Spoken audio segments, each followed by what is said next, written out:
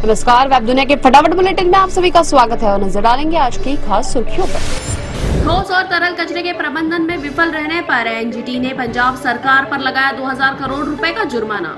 NGT अध्यक्ष न्यायमूर्ति आदर्श कुमार गोयल की अध्यक्षता वाली पीठ ने कहा कि सुधारात्मक कदम के लिए न तो अनिश्चित काल तक इंतज़ार किया जा सकता है और न ही स्वास्थ्य संबंधी मुद्दों को लंबे समय तक टाला जा सकता है। दशहरा रैली को लेकर उद्धव ठाकरे गुट की बड़ी जीत बम्बई हाईकोर्ट ने उद्धव गुट को दी। शिवाजी पार्क में रैली की अनुमति, पार्टी ने कहा कि फैसले के बाद न्यायपालिका पर बढ़ा भरोसा। कांग्रेस अध्यक्ष चुनाव के बीच राजस्थान में सियासी सरगर्मी तेज, विधानसभा अध्यक्ष से की मुलाकात, मुख्यमंत्री अशोक गहलोत ने कांग्रेस अध्यक्ष पद के लिए नामांकन करने की कही बात। पूर्णिया रैली से गृह मंत्री अमित शाह ने भाजपा के मिशन, बिहार का किया शंखनाद। नीतीश कुमार को बताया धोखेबाज लालू को भी नीतीश से बचकर रहने की दी नसीहत, तेजस्वी का पलटवार, नया कुछ नहीं कहा।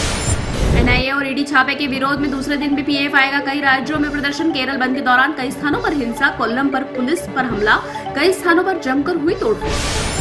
पूर्व केंद्रीय मंत्री और भाजपा के वरिष्ठ नेता मुख्तार अब्बास नकवी ने कहा कि सीबीआई ईडी पिंजरे में बंद, तोता मैना नहीं, बल्कि कानून का गहना।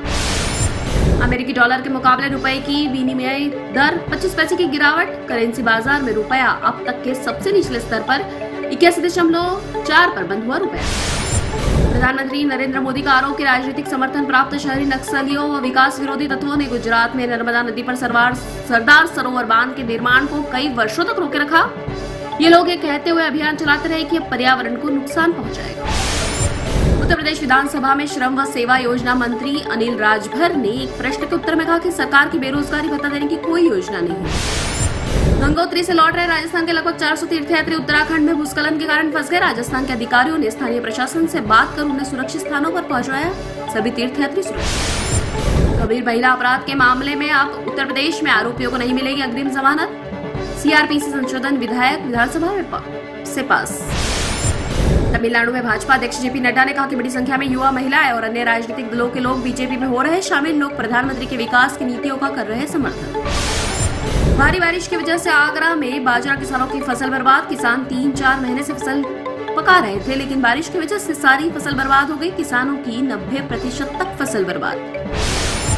हैदराबाद स्थित ईएसआईसी अस्पताल और मेडिकल कॉलेज के D N M Srinivasan, Delhi AIIMS के निदेशक नियुक्त श्रीनिवास डॉक्टर रणदीप गुलेरिया की जगह लेंगे, जो मार्च 2017 से एम्स के निदेशक हैं। डिंडोरी में मंच पर एक्शन में दिखे सीएम शिवराज। उज्ज्वला योजना में गड़बड़ी पर मंच पर अफसर को किया सस्पेंड। गैस कनेक्शन नहीं देने पर की कार्रवाई? इंदौर और उज्जैन से गिरफ़्तार पीएफआई के सदस्यों को भोपाल कोर्ट ने सात दिन की रिमांड पर भेजा, बोले गृह मंत्री देश विरोधी गतिविधियों में लिप्त थे आरोपी।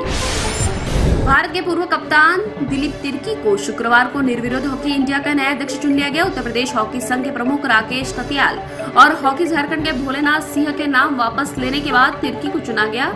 भोलेनाथ संघ के महासचिव चुने गए। शेयर बाज़ार में तीसरे दिन भी गिरावट बीएससी सेंसेक्स एक हज़ार इक्कीस अंक लुढ़क कर अट्ठावन हज़ार निन्यानवे अंक पर हुआ बंद।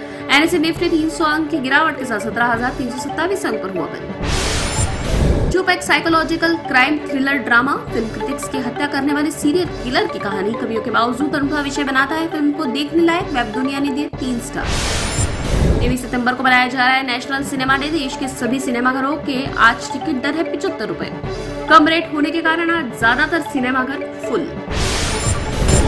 फटाफट बुलेटिन और ताज़ा अपडेट के लिए लगातार बने रहिए हमारे साथ। यानी आपको विज़िट करना है वेब दुनिया पर।